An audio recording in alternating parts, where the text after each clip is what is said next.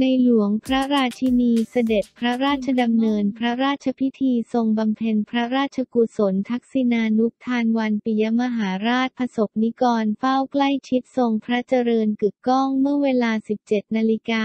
58 นาทีวันที่ 23 ตุลาคม 2563 พระบาทสมเด็จพระเจ้าอยู่หัว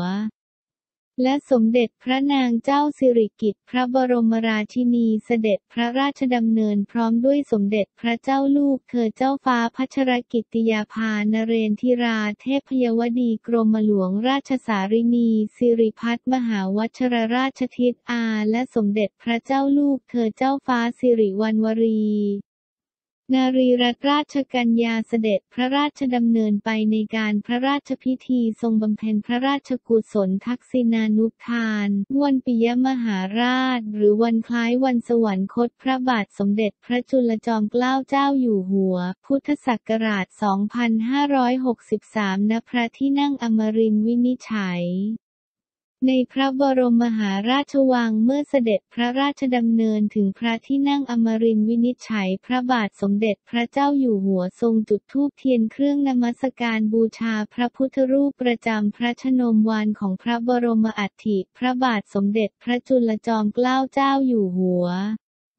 พระอัฐิสมเด็จพระศรีพัชรินทราบรมราชินีนาถ สมเด็จพระศรีสวรินทิราบรมรมราชเทวี พระพันวัษาอัยิกาเจ้าสมเด็จพระนางเจ้าสุนันทากุมารีรัตน์ พระบรมราชเทวี สมเด็จพระปิตุฉาเจ้าสุขุมารมารสี พระอัครราชเทวี และพระวิมาดาเธอกรมพระสุทธาสินีนาถปิยมหาราชปฏิวรัตดา ซึ่งประดิษฐานที่พระที่นั่งบุตรสบกมาลา ทรงกราบพระสงฆ์ห้าสิบเจ็ดรูปสวดพระพุทธมนต์จบแล้วพระสงฆ์สวดพระพุทธมนต์จบพระบาทสมเด็จพระเจ้าอยู่หัวเสด็จ ไปทรงจุดธูปเทียนเครื่องทองน้อยที่หน้าพระแท่นนพดลมหาเสวตฉัตรสำหรับพระบรมอัฐิและพระอัฐิทรงธรรม ประทับพระราชอาจทรงศีล พระเทพสักยวงศ์บัณฑิตถวายศีลและถวายพระธรรมเทศนาเมื่อพระเทพสักยวงศ์บัณฑิต ถวายพระธรรมเทศนากันหนึ่งจบแล้วเสด็จพระราชดำเนินไปประเคนจตุปัจจัยไทยทำบูชากันดเทศ แล้วทรงทอดผ้าไตรสิบแปดไตรพระสงฆ์ที่สวดพระพุทธมนต์ห้าสิบเจ็ดรูป และที่ถวายพระธรรมเทศนาสดับประกรณ์พระบรมอัฐิและพระอัฐิ ถวายอนุโมทนา ถวายอดิเรก ถวายพระพรล่าพระบาทสมเด็จพระเจ้าอยู่หัว และสมเด็จพระนางเจ้าสิริกิติ์พระบรมราชินีเสด็จพระราชดำเนินไปทรงกราบถวายบังคมพระบรมอัฐิพระบาทสมเด็จพระจุลจอมเกล้าเจ้าอยู่หัว และพระอัฐิสมเด็จพระศรีพัชรินทราบรมราชินีนาถ สมเด็จพระศรีสวรินทิราบรมราชเทวี พระพันวัษาอัยิกาเจ้าสมเด็จพระนางเจ้าสุนันทากุมารีรัตน์ พระบรมราชเทวี สมเด็จพระปิตุฉาเจ้าสุขุมารมารสี พระอัครราชเทวี และพระวิมาดาเธอกรมพระสุทธาสินีนาถปิยมหาราชปดิวรัตดาที่หน้าพระแท่นพระนพดลมหาเสวตฉัดทรงรับการถวายความเคารพของผู้มาเฝ้า แล้วเสด็จออกจากพระที่นั่งอมรินวินิจฉัย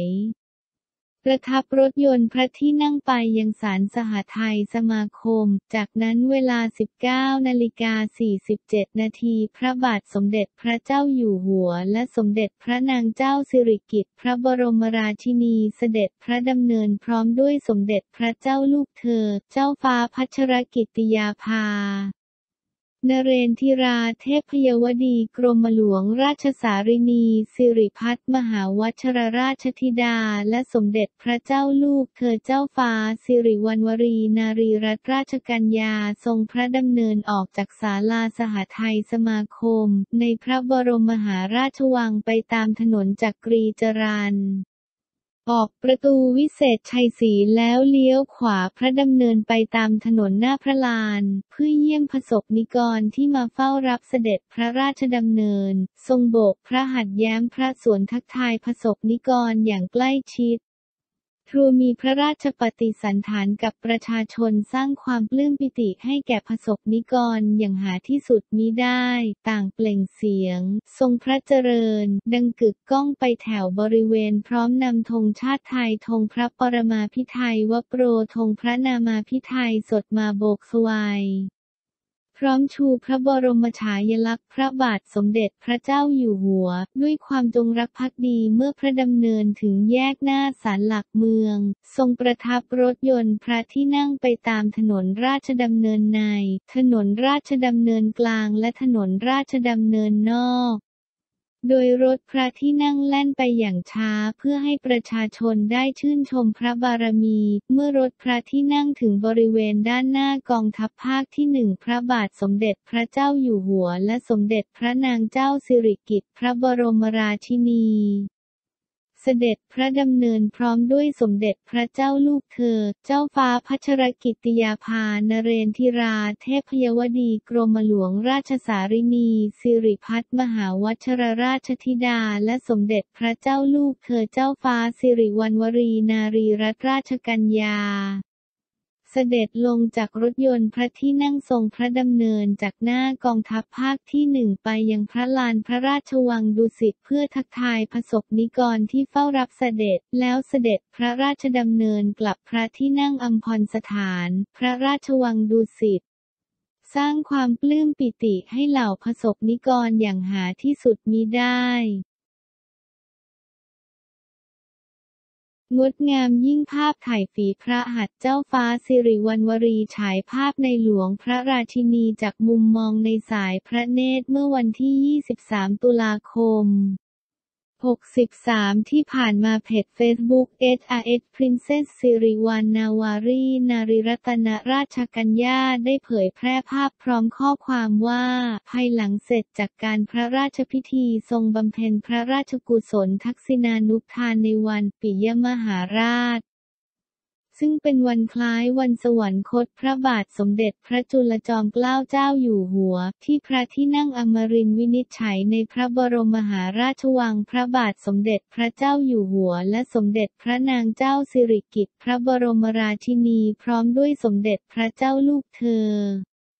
เจ้าฟ้าพัชรกิติยาภาสมเด็จพระเจ้าลูก เธอเจ้าฟ้าสิริวัณวรีทรงทักทายและฉายพระรูปร่วมกับประชาชนที่มาเฝ้ารับเสด็จอย่างใกล้ชิดภาพถ่ายในสายพระเนตร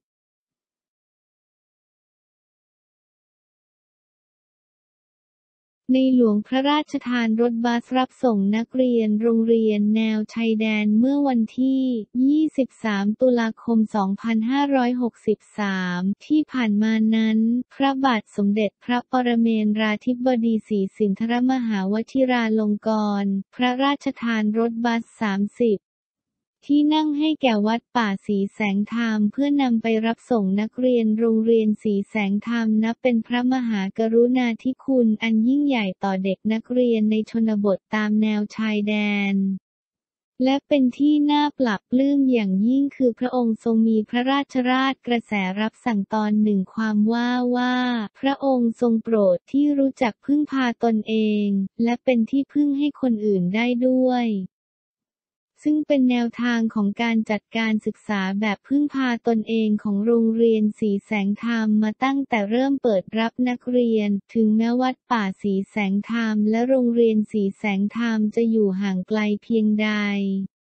แกยังไม่พ้นสายพระเนตรพระกันของพระองค์ท่าน พระองค์ท่านเป็นพระราชาผู้ปิดทองหลังพระอย่างแท้จริง ขอพระองค์ทรงพระเจริญยิ่งยืนนาน เนื้อหาข้างต้นเป็นข้อความที่ถูกเผยแพร่ในเฟซบุ๊กพระครูวิมลปัญญาคุณ สีแสงธรรม โรงเรียนสีแสงธรรม บ้านดงดิบ อำเภอโขงเจียม จังหวัดอุบลราชธานี ซึ่งได้โพสต์ไว้เมื่อวันที่ 23 ตุลาคมที่ผ่านมา โดยถือเป็นเรื่องราวที่สร้างความปิติยินดีแก่ผสบนิการชาวไทยที่ได้รับทราบเรื่องราวดังกล่าว ซึ่งมีกลุ่มคนในโลกออนไลน์ต่างเข้ามาแสดงความเห็นมากมาย พร้อมกับการแชร์เกือบพันครั้งอาทิ ความทุกข์ร้อนของปวงประชาอยู่ในสายพระเนตรพระกันเสมอ ทรงติดตามดูข่าวสารทุกช่องทางทรงทราบทุกความเคลื่อนไหวในสังคม ไม่ต้องรอให้ใครมาปฏิรูปท่านหรอกท่านปฏิรูปและพัฒนาตัวเองมาตลอดเวลา ขอทรงพระเจริญยิ่งยืนนานเทิน ทรงพระเจริญน้ำตาแห่งความปรับปลื้มแอบซึมแม้โรงเรียนสีแสงธรรมจะอยู่ห่างไกลเพียงใด แกยังไม่พ้นสายพระเนตรพระกันของพระองค์ท่าน ขอพระองค์ทรงพระเจริญยิ่งยืนนาน ทรงพระกรุณาเป็นยิ่งนักความเดือดร้อนของประสบนิกรไม่ว่าใกล้หรือไกลไม่เคยรอดพ้นจากพระเนตรพระกันของพระองค์ท่าน ขอพระองค์ทรงพระเจริญยิ่งยืนนาน อยู่เป็นมิ่งขวัญผสบนิกรชาวไทย ข้าบขอจงรักภักดีด้วยชีวิต ดีใจกับพระอาจารย์คณะครูและน้องๆ จากนี้คงไม่ขาดแคลนมากเหมือนเดิมแล้ว สุดท้ายก็ต้องสถาบันนั่นแหละลงมาช่วยขืนรอนการเมืองข้าราชการพระอาจารย์ก็ต้องเหนื่อยคนเดียวตลอดเหมือนเดิม ยินดีกับพระคุณเจ้ากับโรงเรียนด้วยเจ้าค่ะ อพระองค์ทรงพระเจริญยิ่งยืนนานแสงสว่างที่พระคุณเจ้าลงมือทำส่องให้เห็นให้เป็นที่ประจักษ์แก่สังคมหมู่มาก ขอพระองค์ทรงพระเจริญ ดีใจกับพระอาจารย์คณะครูและน้องๆจากนี้คงไม่ขาดแคลนมากเหมือนเดิมแล้ว สุดท้ายก็ต้องสถาบันนั่นแหละลงมาช่วย ขึงรอนการเมืองข้าราชการพระอาจารย์ก็ต้องเหนื่อยคนเดียวตลอดเหมือนเดิม ยินดีกับพระคุณเจ้ากับโรงเรียนด้วยเจ้าค่ะ ขอพระองค์ทรงพระเจริญยิ่งยืนนาน แสงสว่างที่พระคุณเจ้าลงมือทำส่องให้เห็นให้เป็นที่ประจักษ์แก่สังคมหมู่มาก ขอพระองค์ทรงพระเจริญ ทั้งนี้พระครูวิมลปัญญาคุณสีแสงธรรมได้เปิดเผยว่ารถบัสพระราชทานนั้นในหลวงทรงพระราชทานมาตั้งแต่เมื่อปี